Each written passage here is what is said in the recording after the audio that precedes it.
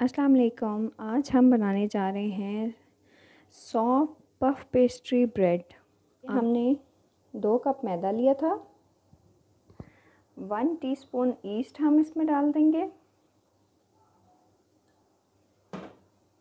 Three table spoon पिसी हुई चीनी है। आइसिंग शुगर हो तो आप आइसिंग शुगर भी डाल सकते हैं नहीं तो आम चीनी को पीस के आप डाल लें।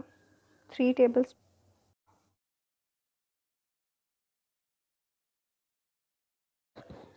ये देखें, ये हमने इसको एक घंटे के लिए छोड़ा था। एक घंटे के बाद ये राइस होके डबल हो चुकी है, मैंने इसको तीन पोर्शंस में रख दिया था।